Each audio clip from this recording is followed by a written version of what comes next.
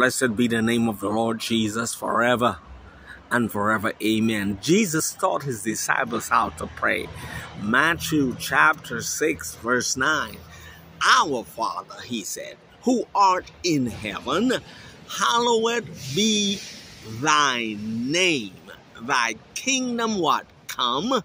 Thy will be done where? On earth as it is in heaven. There is coming a time and a day where the will of God in heaven will be the will of God on the earth. Uh, my brothers and my sisters, this life is just for a moment, it is just for a season.